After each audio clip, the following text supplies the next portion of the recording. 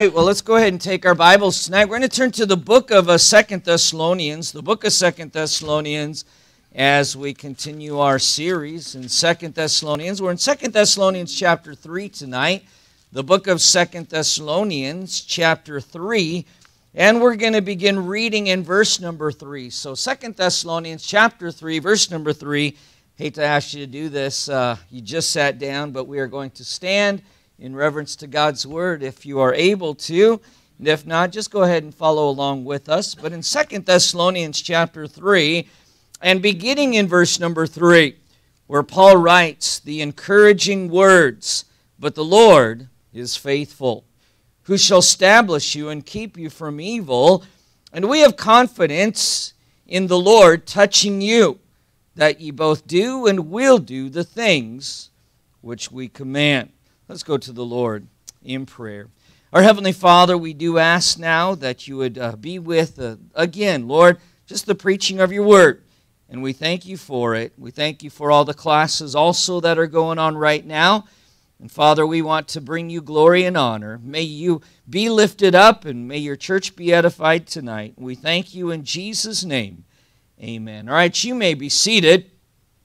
The Lord is faithful who shall establish you and keep you from evil. As I said last week, the last chapter of this letter written by Paul to the church in Thessalonica, it can be outlined in the following way. First, in verses 1 through 2, we looked last week at Paul's concern. And then, of course, uh, verses 3 and 4, which we're on tonight, Paul's confidence. And then verse, uh, verse number 5 is Paul's counsel.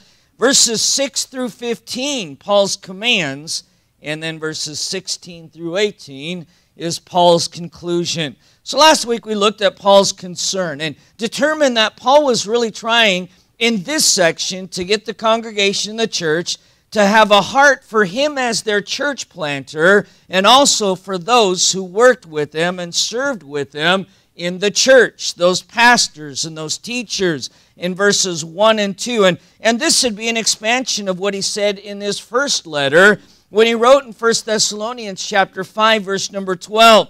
And we beseech you, brethren, to know them which labor among you and are over you in the Lord, and admonish you and esteem them very highly in love for their work's sake, and be peace, uh, and be at peace among yourselves. So in verses 1 and 2 of Second Thessalonians chapter 3, he starts it by saying, Finally, brethren, pray for us.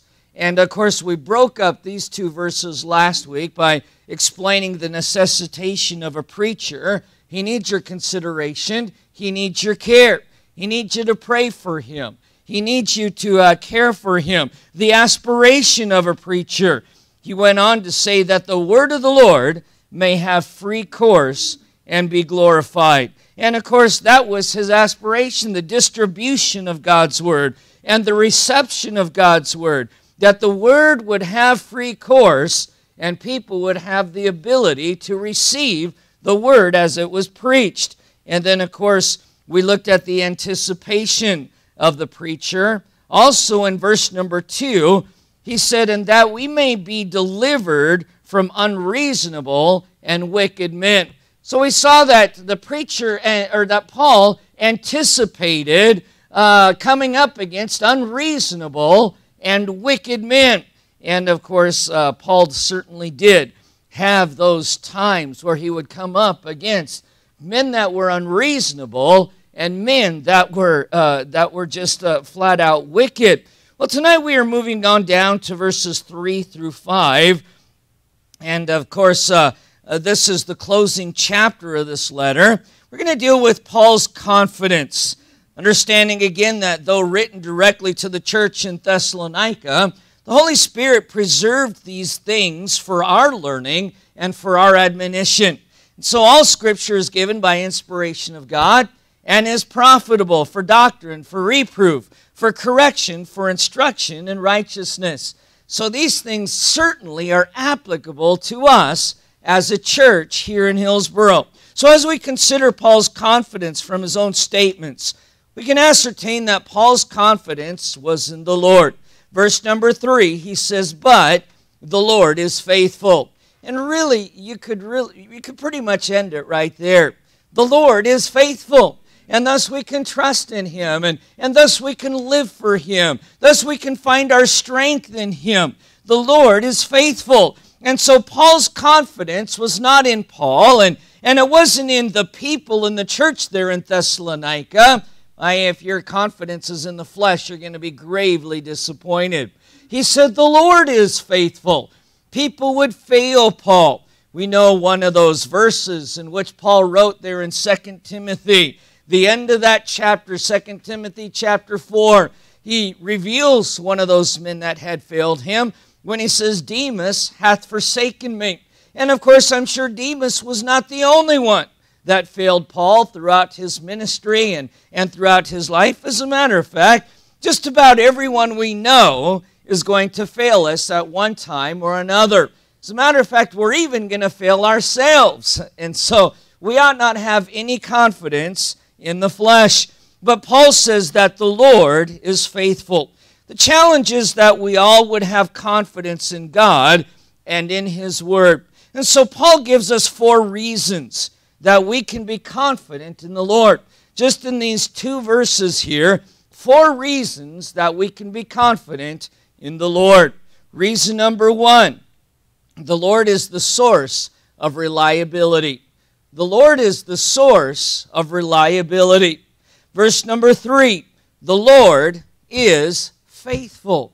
Our God, number one, never fails. He never fails. And thankfully, our Lord never has extenuating circumstances that keep him from fulfilling his promises. Every single one of us have made a promise but due to some kind of extenuating circumstance, maybe it was an illness, or maybe it was something else that we couldn't help. I know that uh, there's been a time or two when I promised to pick someone up, but then the car broke down, or something like that. Extenuating circumstances that we just can't help. But you know what? God never has those circumstances. God always comes through. He is the source of reliability. You talk about someone who's reliable, God is reliable 100% of the time. And so the Lord is faithful. Now we can say that about people. We know people who are faithful, but even the most faithful person is not faithful 100% of the time because things do come up. People do get ill, people get sick. Uh, I can remember going rummaging when I was a kid through some of my dad's stuff in this trunk that he had, and I came across this uh, award that he had gotten for perfect attendance uh, in school. My dad had perfect attendance from kindergarten all the way through sixth grade. And I thought, man, that is remarkable. Uh, perfect attendance. I said, Dad, what happened in seventh grade? He said, I got the mumps. Extenuating circumstances, things that we cannot help. Now, you would say about my dad for that time, man, he was faithful. Even after getting the mumps, you would have to say, man, he was faithful to school. He was faithful in his attendance. But no man is 100%. But our God is 100%. Because he's not only reliable, our God is the source of reliability. And thankfully, those extenuating circumstances never come up. Can you imagine living all your life thinking that you're saved and then you come to the pearly gates and and the Lord says, Well, you know what? Uh, I don't have you on the list here. You're not in the Lamb's book of life. And you say, Well, I know I, I know I called upon you to be my Savior. It was on this certain day in, in, in 1983. And the Lord looks and says, What date, what, what date was that? Oh man, I must have missed it because I was sick that day. And so I totally missed out. Now, we need the Lord to be 100% faithful, not just 99% faithful. That's not good enough. Our God is the source of reliability. As many of you know, for many years, Corridor Baptist Church was in charge of our youth camps. When in charge of things like that, I've always tried to have my speakers set up several years in advance. I, I, I just uh, I don't want to have to be worrying about man who's my speaker tomorrow or who's my speaker next week and so I would I would line them up uh, years in advance usually I'd be two or three years uh, down the road where he had speakers that uh, were lined up one thing I learned however is no matter how reliable certain individuals may be extenuating circumstances do come up I remember one year I was on vacation, and it was one of those years that I decided to take a vacation just before camp, which uh, was not very wise of me. But I can remember um, uh, getting a, a voicemail from our camp speaker, which was in about two weeks, to find out he wasn't going to be able to go. And that was the one and only time that that happened. But uh, when you rely on something like that, man, it, it's tough. It's too late to get another speaker. And he was, he had a good excuse. He had an illness in the family, and he just wasn't going to be able to make it. But thank the Lord, he never has those circumstances. He is 100% reliable. Our God's commitments are ironclad. What used to really drive me crazy about camp was when I would ask the preachers at the end of every camp, Can we count on you for next year's camp? Can we count on you to go next year? Can we count on you to bring kids? Can we count on you to send kids? To which they would say, Yes, we are in. That was always the determining factor for me. Am I going to take camp next week, uh, next year? I'll take camp next year if you all are going to come. I'll take camp next year if you all are going to be involved. Yes, we are going to be there. Yes, we're going to be involved. Yes, we are going to send kids. Several years, however, after not hearing from certain churches, I would, I would call them up a week before camp and say, You still haven't gotten your numbers in. To have the pastor say, Oh, didn't we tell you we decided we're not going to camp this year?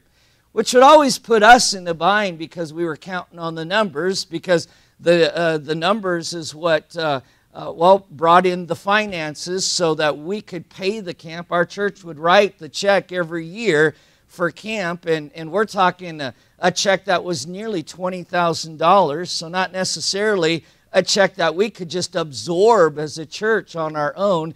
And I can remember that would just drive me nuts to hear, oh, we decided we're not going to camp this year. Oh, we decided that we're going to go on a missions trip this year. Probably one of the reasons that for many years I hated missions trips was because of that very thing. I would have churches say, uh, after committing the year before, well, we're not going because we decided it'd be beneficial to go on a missions trip. Praise the Lord, God never calls us up and says, oh, you know what? I've changed my mind. I'm not going to save you after all. Oh, I've changed my mind. You know that Messiah that I promised back in the book of Genesis? We're going to call that off. We're going to change things up just a little bit because we decided we didn't really want to go through with that. To a smaller scale, this happens uh, at church, whether it be the nursery workers who decide to attend another church service that week, or uh, or or a, a, Sunday school teacher who decides Saturday night, oh, we're or Friday night we're going to go on a on a on a weekend getaway. We just need a weekend getaway. Not realizing what kind of a lurch that puts the church in for that class or for the nursery or whatever it may be. Being Christ-like means your commitments, large or small, are ironclad because the Lord is faithful. And if the Lord is faithful and the Lord lives in his people, then God's people also ought to be faithful and they ought to keep their commitments. As a pastor, I can testify to you that well, it's getting harder and harder to find people you can rely on just to be in the church services, let alone take a class or, or work a ministry. But the Lord is faithful. Thank the Lord that He is faithful. He is the source of reliability. And if we're not reliable, it's because we're not tapping into that source, nor are we following our God's example. Because our God never fails. But our God also never fibs. Our God never fibs. Sadly, some people make commitments without ever intending to hold to those com- commitments, or they make a commitment to, until that commitment becomes too difficult to keep, or they'll make a commitment unless something better comes along. But our God never fibs. He is faithful to the end. He is faithful no matter what. No matter how hard it gets, He's still faithful. Our Lord still went to the cross, even though the Bible says that uh, uh, it, it, caused uh, Jesus in the flesh all kinds of anxiety. This is why God does not change his mind or his policies because he doesn't fib. As old fashioned as some believe that his policies may be, Jesus is not running for office, nor is he interested in popularity polls. The truth is the truth, whether we like it or not. By the way, God made them, He created them male and female, and He didn't change His mind just because culture has changed and given us 30 or 50 or 70 different genders. Male and female created He them, and He's not changed because our God never fibs. Our God never fails. And our God never forgets because He is the source of reliability. Have you ever forgotten? Have you ever made a commitment and just genuinely forgot about it? I mean, just genuinely forgot. And when you realize it, oh man, I was going to be here. Or oh man, I was going to do this. Or I made a promise and I just totally spaced it. I totally forgot about it.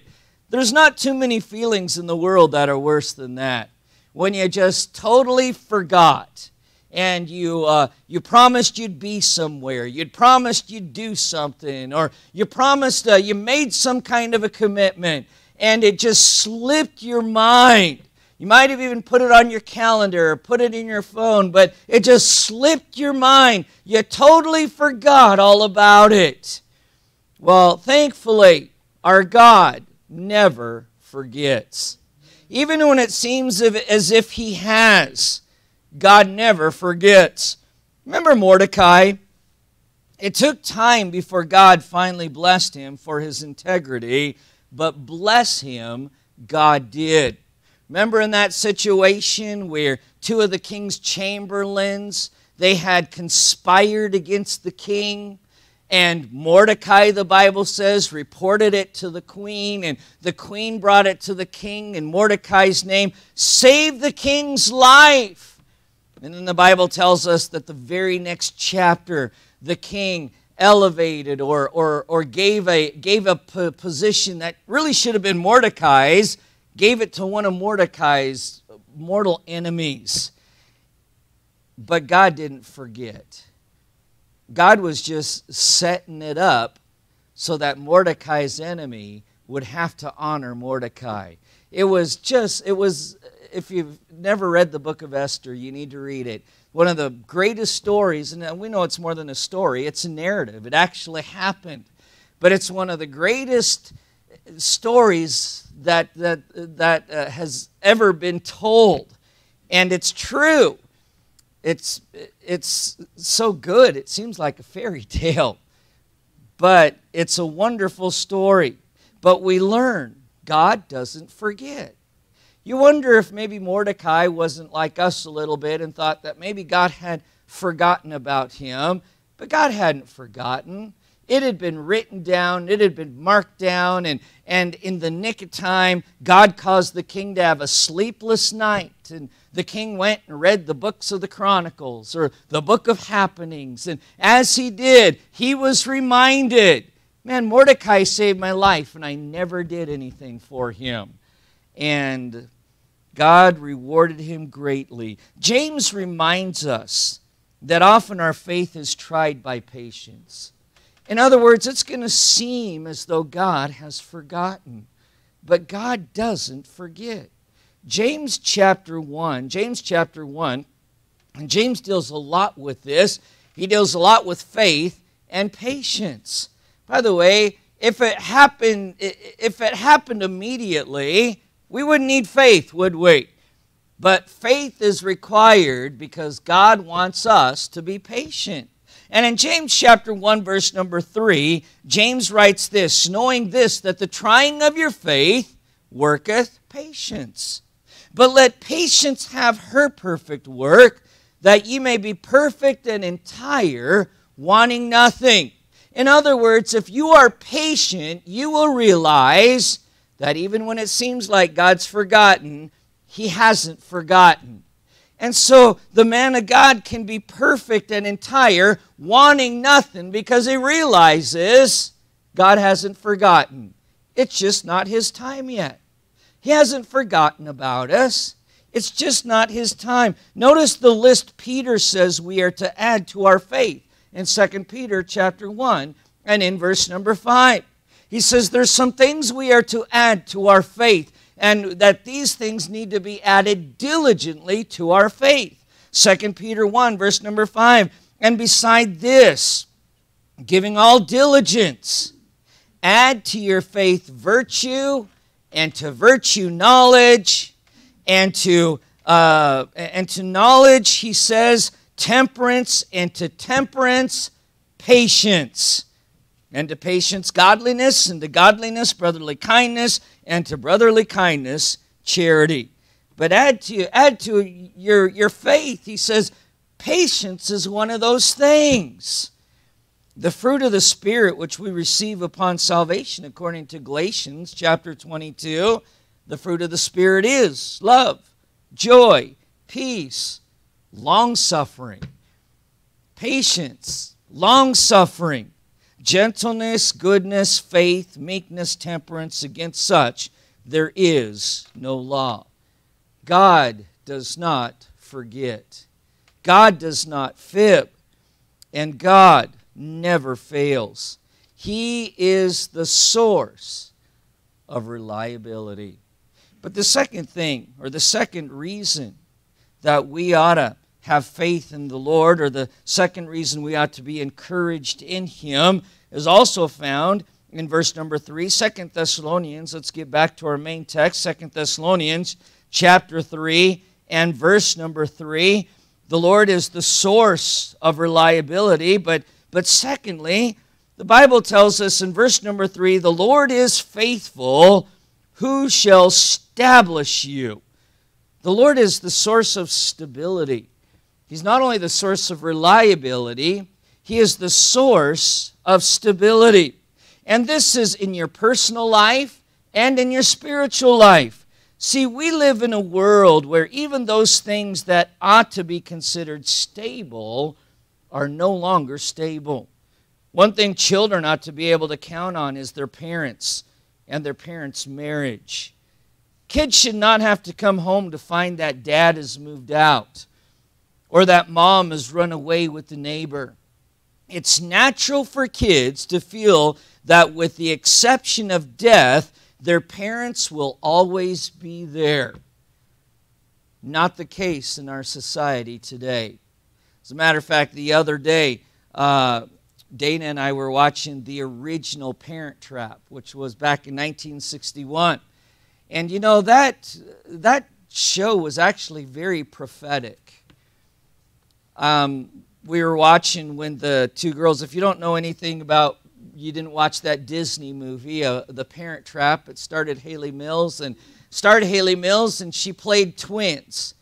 And uh, the, the twins had been separated when they were babies because mom and dad had, had divorced and, and one lived in California and one lived in Massachusetts and one kept one twin, one kept the other twin well, it just so happens by coincidence they sent their twins to the same camp in, in the United States there. and there they met. They looked exactly alike, and they didn't get along, and they ended up being isolated in a cabin where they got to talk and found out they were actually sisters. They were twin sisters. And one of the statements that, that they made was how unfair it was that their parents had separated them, and that uh, if, if, if we're not careful, we're going to live in a society where there's more divorced people than there are married people. And you think about the prophecy of that statement right there. Uh, the divorce rate now is, is over 50%. And uh, for kids to have the same parents from the time that they were bo- they're born in the family to the time that they graduate, uh, it is rare today because chances are that source of stability that, that's embedded in them is, is ripped apart in their childhood. Sometimes the parents actually wait till their children are adults, but nonetheless, it still affects them. Uh, here's the thing we live in a society where nothing is stable, but our God is still faithful. He's the source of stability. The Bible says, don't be established by the, the wiles of the devil, and don't be established by the philosophies of the world. The philosophies of the world change. My generation, when we were kids, we were told to prepare for an ice age. Now, this generation is told to prepare for global warming because everything is going to fry.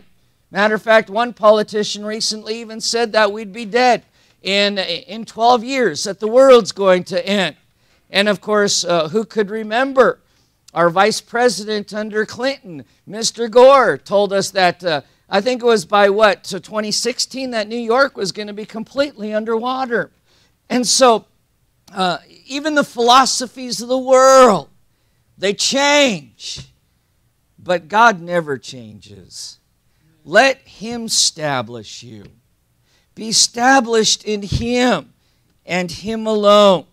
Listen, even though uh, divorce and polygamy were rampant in the Old Testament, it was never meant to be that way. In Matthew chapter 19, verse number 4, Jesus says, Have you not read that he which made them at the beginning made them male and female?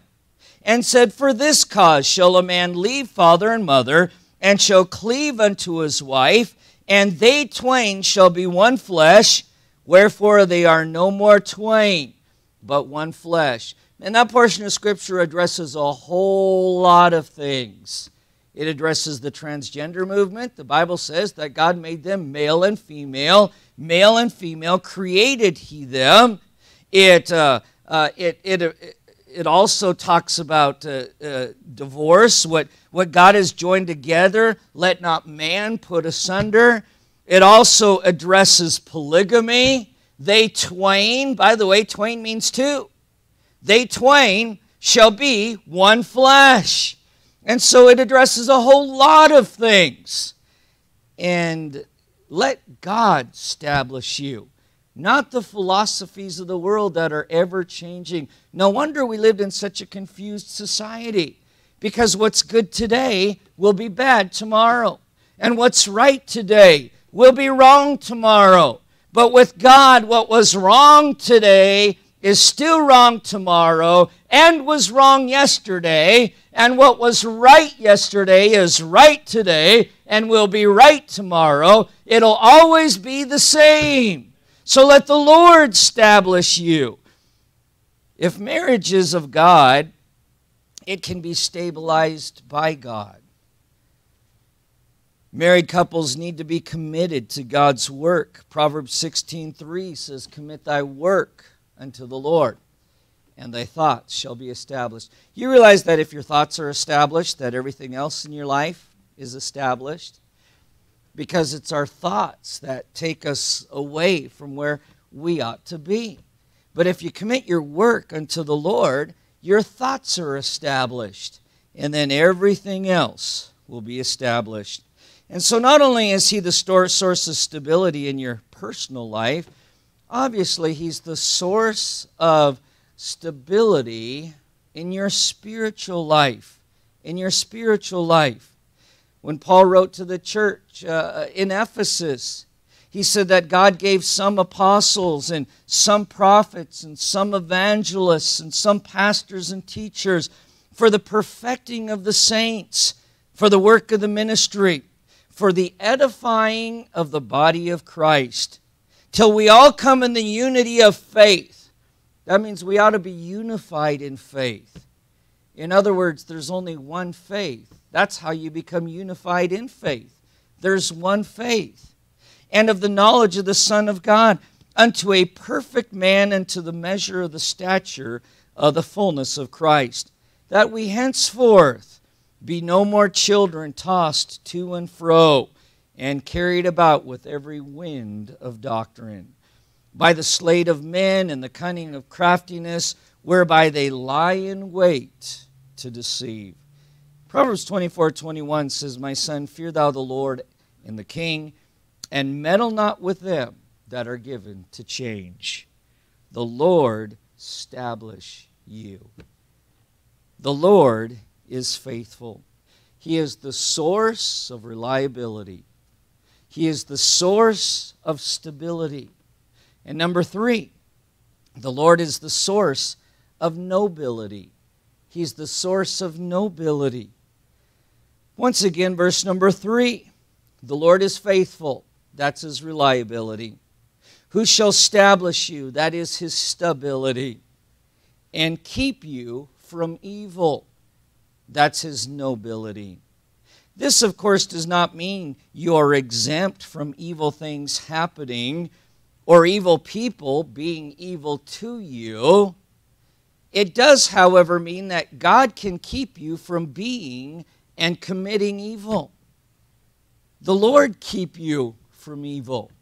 Listen, you want to be a noble individual? You want to be an individual of, uh, of virtue? You want to be someone who's moral? The Lord keep you from evil. In other words, trust in His Word, know His Word, believe His Word, know what it says, and obey it. The Lord is the source of reliability, He is the source of stability. He's the source of nobility. And last of all, the Lord is the source of dependability. Look at verse number four. We have confidence in the Lord touching you that you both do and will do the things which we command. If we hope to have the wherewithal to perform and to do the Lord's will, we need to put our faith and trust in Him to do so. We can't do this on our own. We can't live for the Lord by sheer willpower. People who try to do it in the flesh fail miserably and they get nothing but discouraged. In Galatians 2, verse number 20, Paul said, I am crucified with Christ. Crucify the flesh. Don't try to live for the Lord in the flesh. Don't try to have the willpower to live for the Lord. I am crucified with Christ, nevertheless I live. Yet not I, but Christ liveth in me. And the life which I now live in the flesh, I live by the faith of the Son of God, who loved me and gave himself for me. The Lord is the source of dependability. Philippians 4:13, Paul writes, I can do all things through Christ, which strengtheneth me. He is the source of reliability. He is the source of stability. He is the source of nobility to keep you from being evil. He's also the source of dependability. You know, the key, the secret to living for the Lord is letting the Lord live in and through you. We can't do it in the flesh. Second Thessalonians chapter 3, verses 3 and 4. The Lord is faithful, his reliability. Who shall establish you? His stability. He keeps you from evil, his nobility.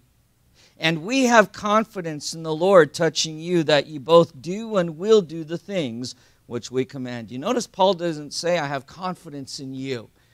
I, I, I'm relying upon you. I'm counting on you.